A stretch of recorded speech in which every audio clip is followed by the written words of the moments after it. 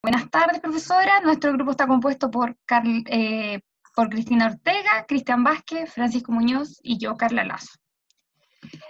Nosotros nos tocó el trabajo de investigación que consiste en que una empresa exporta su producto a seis países, que eran el A, el B, el C, D, E y F, en cantidades anuales determinadas por el vector X, Y, Z, U, B y W los cuales usan los vectores que son el 20, el 20, el 30, 70, 10 y 20. O sea, el X con este, bueno, ahí más adelante lo voy a explicar bien. La empresa desea modificar su política de exportaciones de modo que la cantidad exportada al país sea la menor posible. Ahora bien, la capacidad de producción de la empresa está limitada a 170 unidades de producto. Los costes de producción son distintos según el país de destino, a causa del transporte y son respectivamente de 2, 1, 3, 2, 1 y 1 unidad monetaria por unidad producida. El presupuesto de la empresa es de 320 unidades monetarias.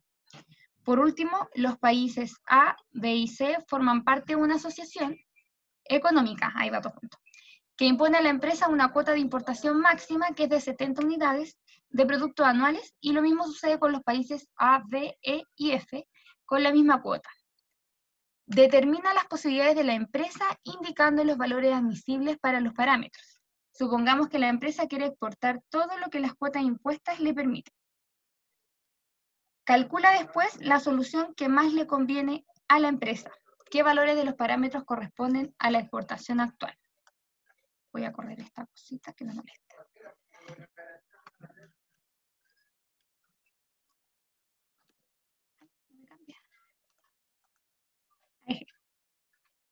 Ya, vamos a ver la resolución del problema que estábamos leyendo. Acá, como decíamos, las exportaciones actuales es X, Y, Z, U, V y W, que están determinadas por estos números que están acá. Esta sería X, Y, Z, U, V y W. Y los países son A, B, C, D, F, que también corresponden a estos. Todo esto va unido. La X, el 20, la A. Y así sucesivamente. El objetivo que acá nos dice el problema es que hay que minimizar U. ¿Ya? Las restricciones vendrían siendo, vamos a transformar todo lo que era el problema en ecuaciones. Entonces nos dice acá en el problema que... Em, acá. La capacidad de producción de la empresa está limitada a 170 unidades de producto.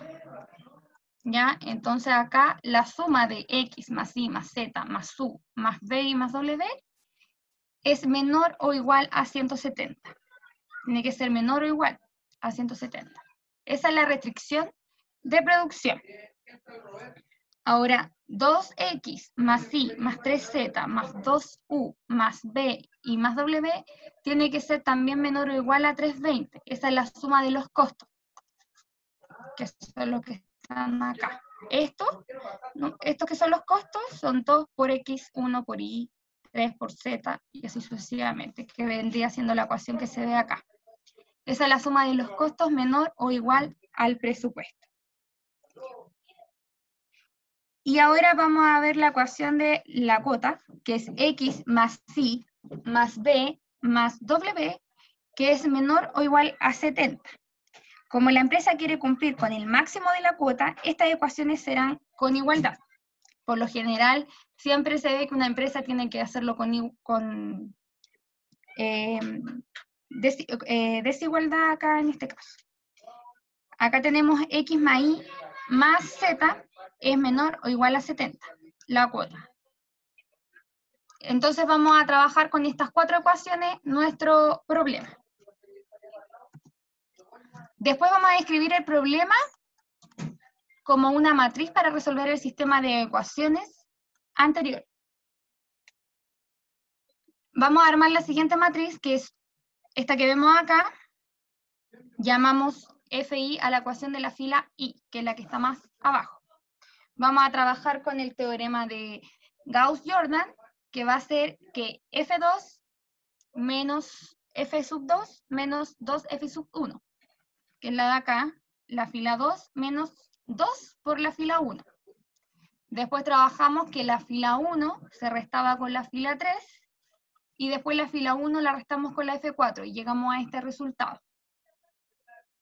Ahora vamos a trabajar con esta matriz, y vamos...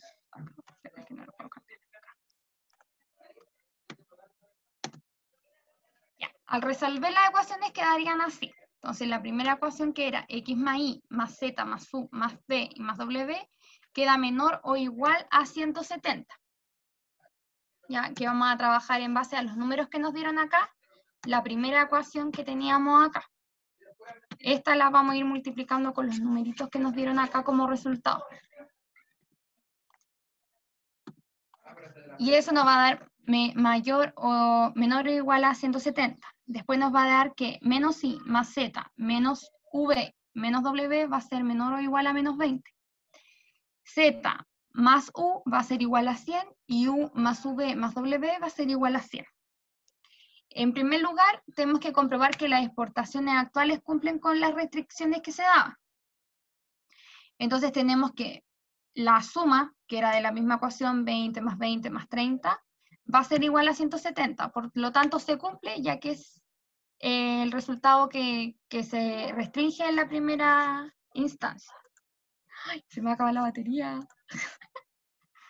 en primer lugar, comprobamos que las exportaciones actuales cumplen con todas las restricciones. 20 más 20 más 30 más 70. Ay, profe, me da un minutito, lo puedo poner en pausa, ¿no?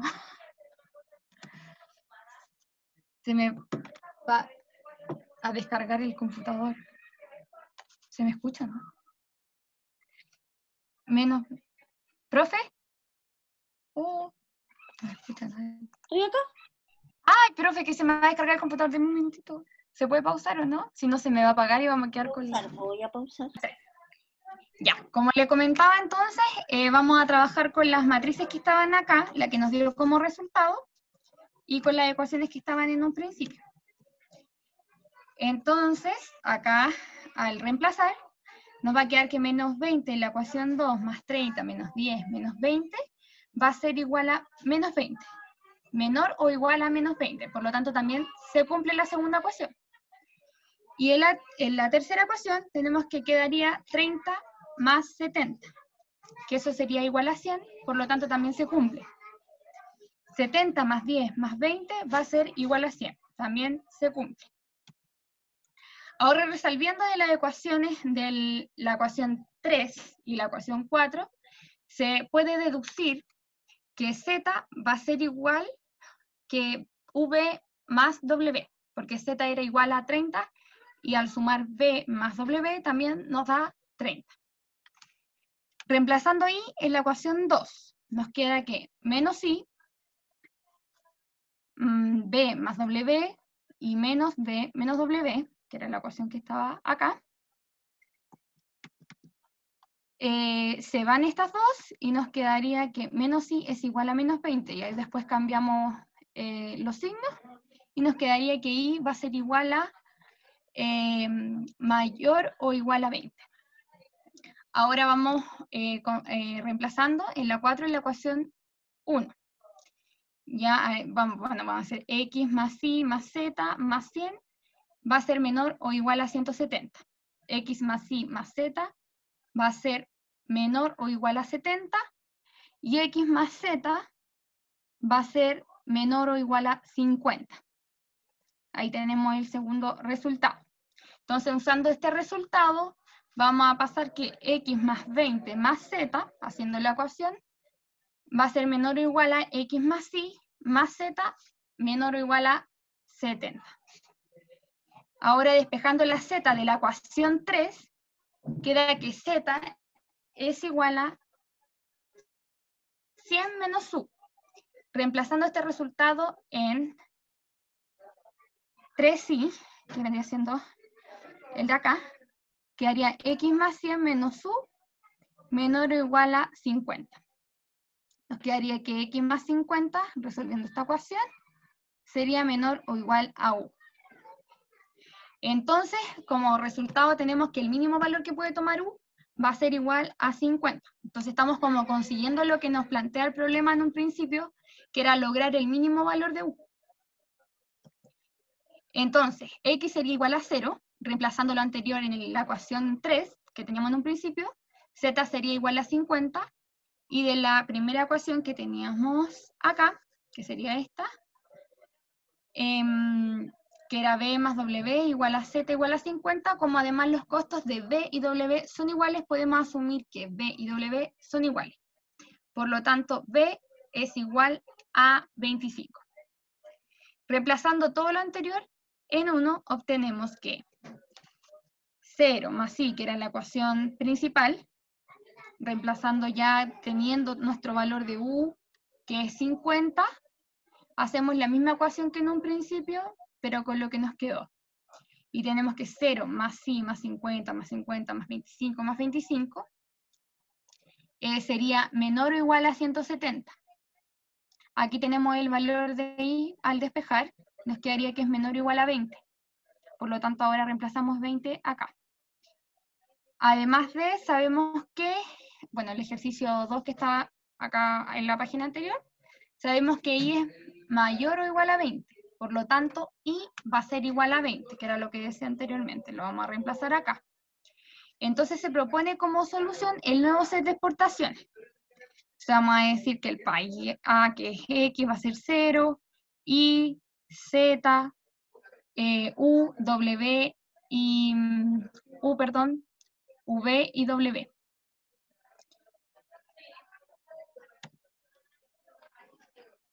Bueno, ahora vamos a comprobar que este resultado cumpla con la restricción de producción. Bueno, aquí veíamos que la primera ecuación, que era x más y más em, z más u más b y más w va a ser igual a 170, por lo tanto es menor o igual a 170. Esto se cumple.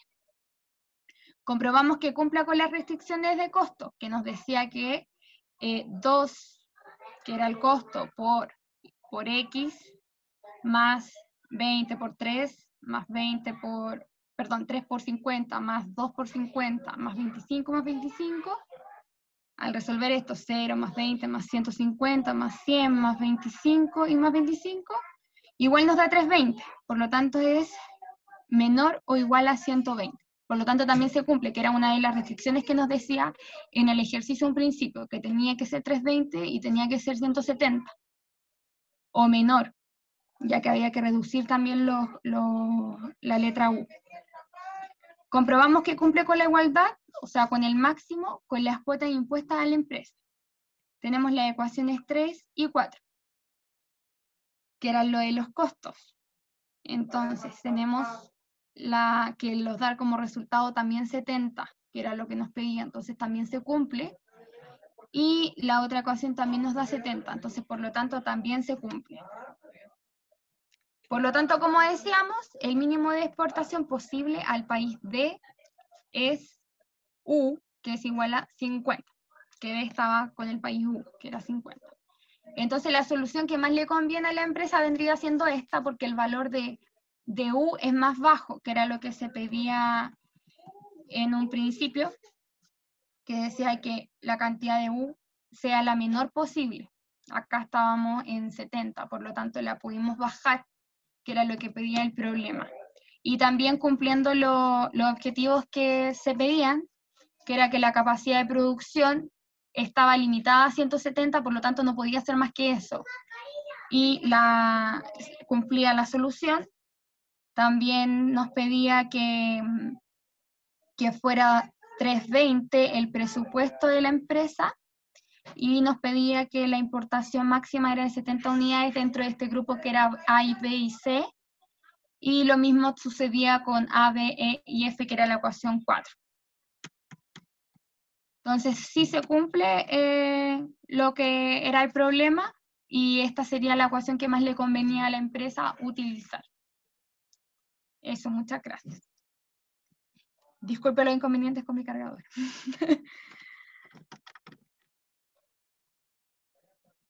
¿Hay momento para preguntar?